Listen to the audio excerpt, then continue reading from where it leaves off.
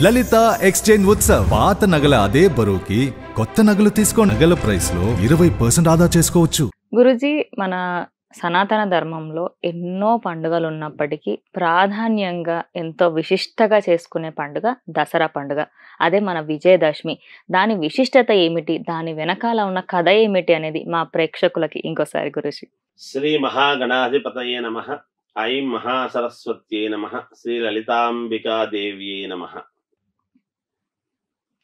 యశివో నామ రూపాభ్యాం యా దేవీ సర్వమంగళా తయో సంస్మరణాం పుంసాం సర్వతో జయమంగళం లాభస్తేషాం జయం తేషాం కుతస్తేషాం పరాభవ ఏషామిందీవరస్యామో హృదయస్థో జనార్దన అమ్మా దసరా పండుగ మనం ఎందుకు చేసుకోవాలి? అనేటువంటిది ప్రశ్న. మన మీరే చెప్పారు మన సనాతన ధర్మం సంస్కృతి సాంప్రదాయం అనేటువంటివి మనము మొదటి నుంచి కూడా. ఒక పద్ధతి ఒక విధానం. మన భారతీయుల యొక్క గొప్పతనం.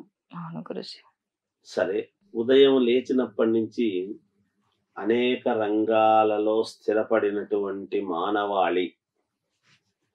తెలుసో తెలియకో కడుపాత్రం కోసం మన జీవనం మన జీవన విధానం ఎదుగుదల కోసం మన పిల్లలను బాగా చూసుకోవాలి. మా ఆయన బాగుండాలి. మా ఆయనకు ఇప్పుడు జీతాలతో మా ఆయనకి ఇంత జీతం వస్తుంది. ఆ జీతంలోనే ఇంటి అద్దె పిల్లలను చదివించుకోవటము సహజంగా వాళ్ళు వాళ్ళ. ఉన్నతమైనటువంటి చదువులు చదవాలి అంటే విదేశాలకు వెళ్ళాలి అంటే ఈ జీతంలోనే ఒక. ఇల్లు కొనాలన్నా ఈ జీతంలోనే అవును గురుజీ అలాగే ఏదైనా ఒకవేళ ఆరోగ్యపరమైనటువంటి పరిస్థితులు ఇబ్బందులు వచ్చినా ఈ జీతంలోనే అని అన్నీ కూడా ఇలా ఒకే దాంట్లోనే ఒక జీతము నెలసరి ముప్పై రోజులు కష్టపడితే ఒక రోజు వచ్చేటువంటి. జీతము గురించి మానవాళి ఇంట్లో గృహిణి.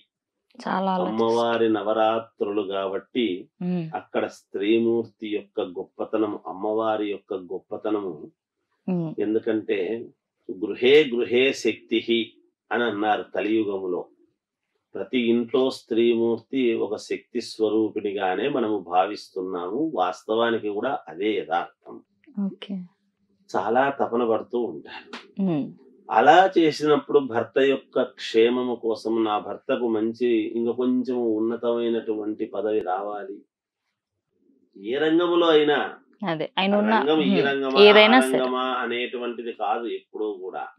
అన్ని రంగాలలో ఉండేటువంటి వాళ్ళ యొక్క గృహిణులు ఇంట్లో ఆలోచన చేసేటువంటి విధానము అంతే ఉంటుంది. సరే గృహిణులు కూడా లేరా ఈ రోజు సంపాదిస్తుంటే? అందుకనే కదా చాలక భర్త యొక్క సంపాదన ఒకటే సరిపోక పిల్లలకు ఇంకా కొంచెము మంచి ఇవి చేసుకుందాము అనేటువంటి అభిప్రాయంతో భర్తకు చేదోడు వాదోడుగా ఇద్దరము సంపాదించుకొని తమ ఇద్దరికీ కలిసినట్టు కలిసి పుట్టినటువంటి సంతానానికి ఉన్నతమైనటువంటి ఉజ్వల భవిష్యత్తును ఇచ్చేటువంటి దానికి ఏవో చేసుకుంటూ ఉంటాం పనులు.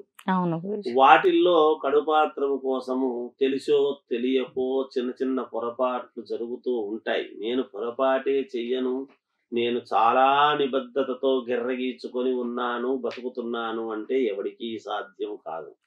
ఎక్కడో ఒక చోట తెలుసో తెలియకో. జరుగుతూ ఉంటాయి. అవి మనకు తెలుసో తెలియకో చేసినటువంటివన్నీ ప్రక్షాళన కావటానికి వేరే మార్గం ఏమున్నది? దైవారాధన.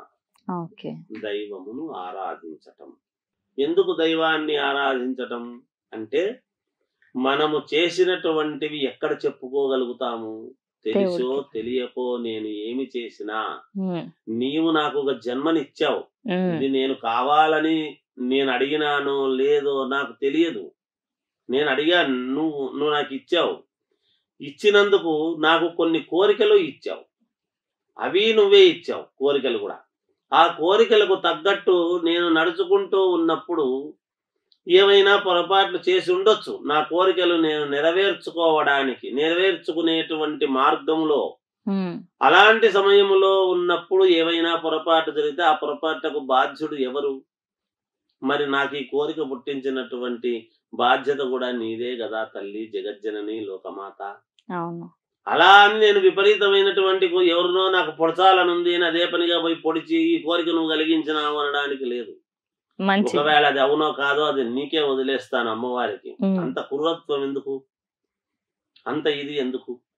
అందుకని అవి నెరవేర్చుకునే విధానములో ఏవైనా చిన్న చిన్న పొరపాట్లు జరిగి ఉంటే తల్లి నీవే క్షమింతువుగాక కన్న తల్లి కొడుకు ఎంత పొరపాటు చేసినా బిడ్డ గాని కొడుకు గాని ఏదైనా తెలుసో తెలియకో పొరపాట్లు చేస్తే మందలించుతుంది కానీ జీవితాన్ని ఇబ్బంది పెట్టే పని ఎప్పుడూ చెయ్యదు తల్లి యొక్క. గొప్పతనం. అందుకనే మాతృదేవో భవ నా గాయత్ర్యా పరం మంత్రం నమాతు పరదైవతం అన్నాడు. తల్లిని మించినటువంటి దైవమే లేదు అన్నాడు. మనము దైవం గురించి మాట్లాడుతున్నాము ఆమె ఎవరు? లోకాలను సైతము కల్న బిడ్డల వలి ప్రజలనందరినీ సంతోషంతో చూసేటువంటి కన్న తల్లి ఆమె. మరి ఆమెకు మనము నవరాత్రులు అనేటువంటిది ఒక మనము చేసుకుంటూ ఉన్నాము. ఎందుకు? కలవు చండీ వినాయకవు అన్నాడు. కలియుగములో చండీ దేవతకు చండీ అంటే పార్వతీదేవి శక్తి స్వరూపిణి. ముందు అమ్మవారు ఉద్భవించింది. తరువాత కదా ఆమె ముల్లోకాలను సృష్టి స్థితి లయకారకులైనటువంటి ముగ్గురిని ఆమె సృష్టి చేసి వాళ్ళకు కొన్ని పదవులు ఇచ్చి మళ్ళీ తాను అంతర్ధానమై మళ్ళీ ముగ్గురికి ముగ్గురు ఆడవాళ్ళుగా ఆమె మహాకాళి మహాలక్ష్మి మహాసరస్వతిగా ఉద్భవించి వాళ్ళకు వాళ్ళకు భార్యలుగా వచ్చి మనల్ని కాపాడుతూ వస్తూ ఉన్నది. అందుకనే అమ్మలగన్నయమ్మ ముగురమ్మల మూల పుటమ్మ అని మనం చెబుతున్నాము. మొట్టమొదట అమ్మవారి అటువంటి సందర్భములో మహిషాసురుడు చివరిలో మహిషాసురుణ్ణి సంహరించడానికి వచ్చినటువంటి మహిషాసుర మర్దని అనేటువంటి రూపము కూడా దాల్చి మరి ఒక్కోసారి ఇంట్లో ఆడవాళ్ళకు కోపం వచ్చిందంటే వాళ్ళకు ఉండేటువంటి ఆయుధాలన్నీ కూడా కాస్త గరిటెలు సలాకులు అన్ని కూడా ఇట్లా ఎగురుతుంటాయి. అలాగే అమ్మవారి స్వరూపము కాబట్టి అక్కడ ఆయన త్రిశూలము అవి ఖడ్గము కావాల్సినటువంటివన్నీ అమ్మవారి చేతిలో ఉంటాయి. ఎందుకు? అమ్మవారు కదా మరి అమ్మవారికి ఆయుధం ఎందుకు? అంటే ఆయుధము రాక్షసుణ్ణి చంపడానికి చేతులతో ఎవ్వరూ ముట్టుకోరు.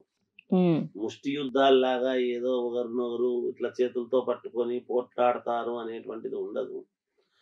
ఆయుధాన్ని మననము చేసి ప్రయోగించటం అనేటువంటిది అవసరం. అంటే ఈ ప్రాణికి ఆ ప్రాణికి ఈ చేతికి ఆ చేతికి మధ్యలో ఇంకొకటి అవసరం అనేటువంటిది ఉన్నది. ఏమిటది?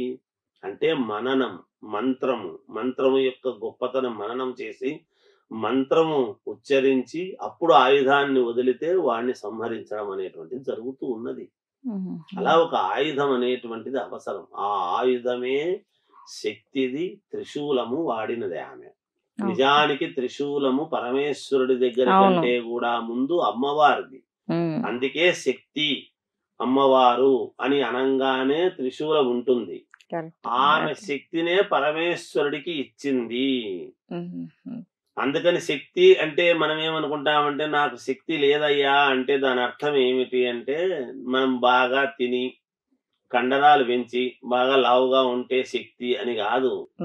స్త్రీమూర్తి శక్తి నీకెందుకు పదా నీ వెనకాల నేనున్నాను అనేటువంటి నైతిక బలము ఇచ్చేటువంటిది శక్తి. అందుకనే ఇవాళ గృహిణులు ఇంట్లో భర్తలందరూ కూడా బయటికి పోయి ఒక దాంట్లో విజయము సాధిస్తున్నారు అంటే వెనకాల ఆమె భర్త యొక్క ప్రోద్బలము ఆమె చేసేటువంటి పూజలు ఆమె కోరిక బలముగా చాలా వరకు ఉంటుందన్నమాట.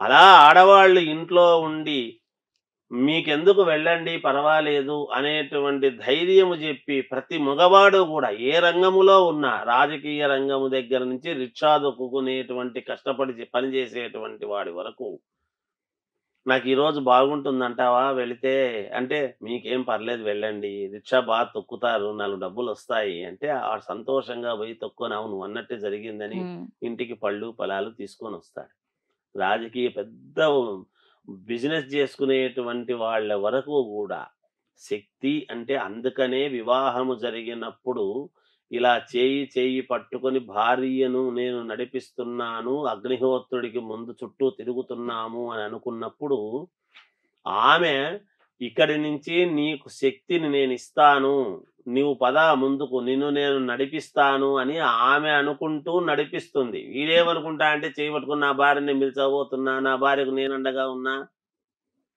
అని అనుకుంటూ ఉంటాం. అది. కాదు. అందుకని లోకాలను సైతము మనల్ని నడిపించేటువంటి శక్తి స్వరూపిణి అయినటువంటి అమ్మవారి యొక్క నవరాత్రులుగా మనము ఒక్కొక్క రోజు ఒక్కొక్క రకమైనటువంటి ఇదిగా మనము చేసుకుంటూ పూజిస్తూ చివరికి విజయదశమి విజయం ఎక్కడో ఒక చోట ఉండాలి కదా! ఆ విజయం ఎందుకు?